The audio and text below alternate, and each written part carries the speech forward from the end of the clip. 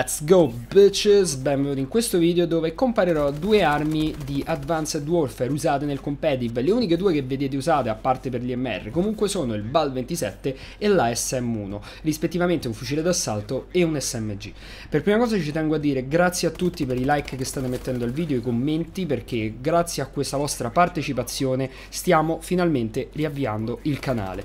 Non vedo l'ora di poter tornare come un tempo, ci vuole ok ancora del tempo, non si può fare tutto in ah, con due video, però le cose stanno andando abbastanza bene. Comunque partiamo subito con la prima arma che voglio affrontare che è il BAL 27. Come sapete questa serie l'avevo già affrontata su Ghost, comparando armi come per esempio era meglio la K... Um, 47 o il Remington, era meglio il uh, l'MTAR uh, o il, uh, il, Vector. Quindi voi sapete questa serie è stata già affrontata, però era stata fatta in pubblico. In questo caso l'affronterò qui in base al competitive. Allora, il BAL 27 è un fucile d'assalto, um, ha un caricatore da 32 colpi, 48 con gli extended mag e ha un danno massimo di 34. Quindi per uccidere una persona dalla distanza minima ci vogliono ben 3 colpi, mentre un danno danno minimo di 24. Questo vuol dire che ci vogliono ben 5 colpi dalla distanza massima.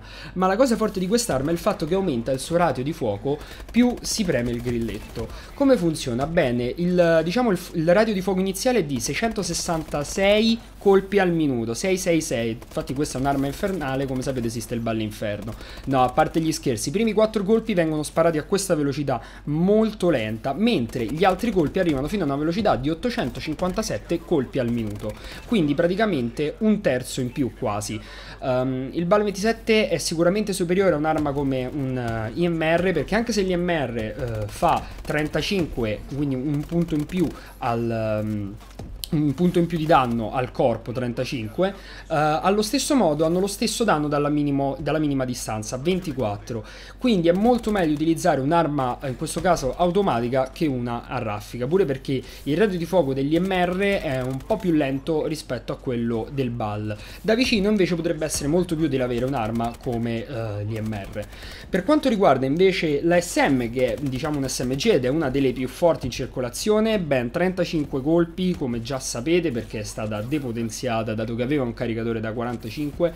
La SM1 è un'arma fortissima perché fa ben 35 di danno da vicino fino a 18 da lontano. 18 da lontano vuol dire 6 colpi, quindi ovviamente cade un pochino in questo aspetto, però ovviamente eh, quest'arma ha una grandissima portata, quindi ha un cioè molte volte ucciderete le persone con solamente 3-4 colpi massimo. Uh, arrivare fino a ucciderli a uh, eh, 6 colpi sarà veramente difficile, pure perché non avrete automira e la persona dovrà stare ferma, dato che fa un danno medio uh, di 24 come anche il BAL, quindi è lo stesso danno medio, cambia solamente il radio di fuoco. In questo caso l'SM come funziona?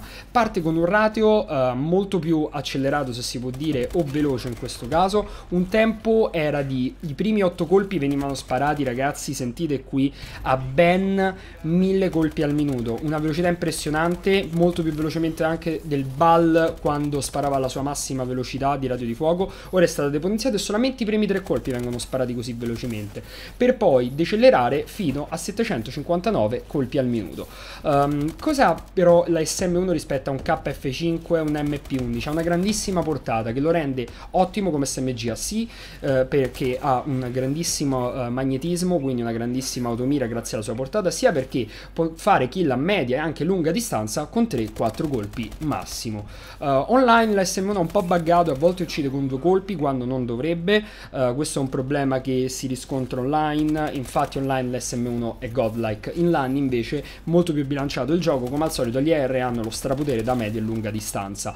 Queste qui sono le armi ragazzi, uh, spero vi piaccia questa piccola serie dove affronto diciamo, um, dove comparo queste armi che sono nel competitive, vorrei cercare di portarla anche più avanti, per esempio parlare dei cecchini, se è meglio l'Atlas o è meglio il Morse, perché molte persone ho visto usare Atlas, molte il Morse, uh, anche sui fucili a pompa comunque, e comunque fare questa serie anche magari spostarla in pubblica come era successo su Ghost. Fatemi sapere, let's go bitches!